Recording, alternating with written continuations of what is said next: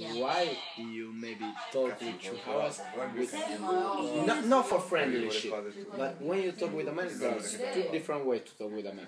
With a friendship, or like if you talk with me, or like with a like a with a talk.